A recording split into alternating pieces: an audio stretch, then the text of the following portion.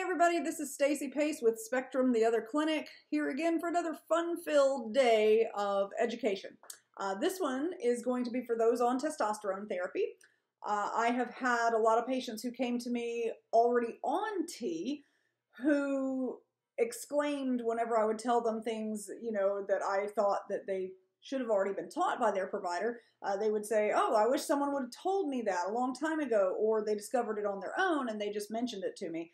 And so I thought, well, a good thing to do would be to do a video about uh, what happens to the bottom area whenever you go on T, because this is a subject that is discussed a lot, apparently, um, amongst trans folks, but not amongst trans folks and their providers, which is sad, but there it is. Uh, so uh, this is basically just a little video of something that I tell my patients quite frequently whenever they're uh, enrolling in testosterone therapy and getting started, just so that they have a heads up. Um, and also, I had a question from someone previously that said, uh, if you go on T, are you going to absolutely have to get a hysterectomy? That answer is no. Um, now, it might solve a lot of problems if you got one. Uh, a lot of this stuff I'm about to mention, uh, you won't have to deal with. But uh, but anyway, so in regards to that, no, you do not have to get a hysterectomy. Like that's not something that you absolutely will have in your future if you go on T. However, it can minimize uh, problems as time goes on if you do get one. And I know that a lot of people want one anyway. So, da Anyways, so what happens to the bottom area whenever you uh, you go on T? Well, one of the most notable things is that you get clitoral growth. Um, and I mean, really and truly, most people are pretty cool with that. You know, uh, it actually helps with a lot of folks' dysphoria because the clitoris can actually uh, grow out to be, you know, a few, you know, a couple inches long, about a micro penis size, uh, and it looks just like a phallus. So it looks just like, you know, a little mini penis sitting there, and it can become erect and everything. Um, just like unto a cisgender male's penis, because whenever we were all in utero, uh, those parts down there didn't differentiate until a certain part of our development, and everything used to look the same. So it's the same tissues and everything as would be in a cisgender dude's penis, right there growing on you whenever you start T. But uh, anywho, so that's something to definitely know about because that's one of the first things actually physically that happens to you whenever you get on T uh, is that. And um, anyway, so that's kind of a positive, uh, but you know, it does. You do need to know that that's going to happen when you go on T. However, there are some things that are um, not exactly negatives, but they're also just very annoying, um, and or can be negatives for folks that are on T that still have uh, uterus and you know obviously still have a vagina. Um, so let's get into those. Um, number one thing to know whenever you're going on T uh, about these parts is that you're basically going to put all these parts through menopause. Uh, and what I mean by that is that whenever you start taking T, it's going to kind of overpower the effects of estrogen. Uh, and so it will decrease your estrogen levels and uh, it will also decrease estrogen's effects.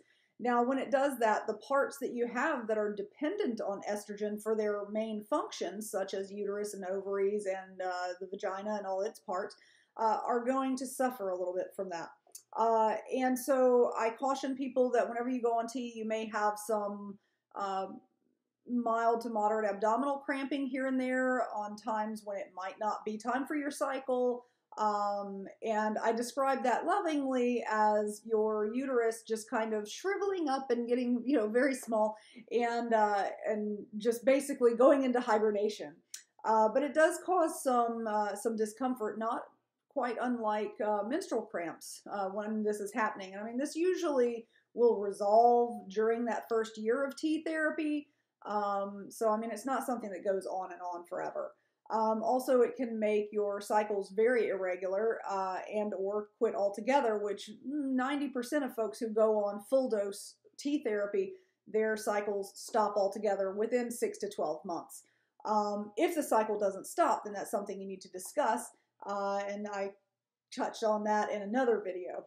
But, uh, but anyway, it can make it very irregular and then stop it. Uh, and then one of the things that people don't tend to talk too much about is the actual like external and just right at the entrance of the vagina. What happens to that? So whenever you go on T, again, you know, your estrogen levels are affected and um, your natural flora and fauna of the vaginal canal and the external features of the vagina get affected. Now, what does that mean? So, whenever you have a good balance of your your nat- body's natural bacteria and things like that, it protects itself. Um, and when these things get unbalanced, hmm, not so much. So you'll see a decrease in the uh, natural lubrication down there, which then changes the bacterial uh, colonies and things, your flora and fauna. And uh, that can actually lead to putting you at a little bit higher risk for getting uh, urinary tract infections or yeast infections. So it's something to kind of be aware about because if you start having issues down there while you're on T, you might actually want to get those looked at a little bit sooner than you would have previously because those problems can get real big real quick when your body doesn't have its natural defenses at 100% down there. Um, anyways, another thing to be aware of with uh, with regards to the decrease in natural self lubrication, again, that happens to women who go through menopause. Uh, anything that happens to them could pretty much happen to your parts whenever you're on T. Um, and that decrease in self lubrication is going to make friction a thing, like either from walking or from sexual activity. So, if you have any kind of penetrative sexual activity, you may want to go and get a good water based lubricant because dry friction is nobody's friend. It can create micro tears in your tissues down there, and then they can get infected, and then all sorts of bad things can happen from that.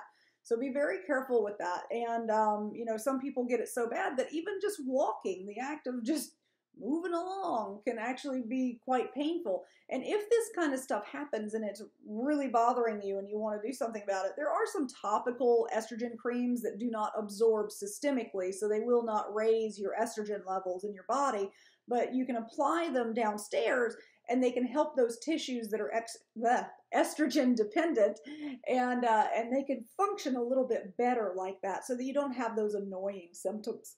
But um, anyways, so that's kind of a brief overview of some fairly major things, though, to be aware of that happen to most everybody. Uh, you know, you will be at a slightly increased risk for UTIs and yeast infections. You will likely get a decrease in self lubrication. Some people, it's not that big a deal. Some people, it's a huge deal. Uh, and then you may have some intermittent abdominal cramping, not unlike menstrual cramps. And uh, also, you may have just wickedly wild menstrual cycles for a little while before they eventually stop. But again, if your cycles haven't stopped by the time you hit a year on T, you need to be talking to your provider, whether that's me or someone else, about options that you have for shutting that down, um, unless you just don't mind. I know a lot of people mind it a lot, so there you go. Uh, and there's a whole nother video I did on uh, menstrual cycles with uh, folks that are on T, so check that out if that's of interest to you. But other than that, uh, that covers the big topics. And uh, if anyone has any other topics they'd like me to cover, they can always give me a shout out and uh, I will try and get a video out there. So thanks for watching, y'all. I hope you learned something. Bye.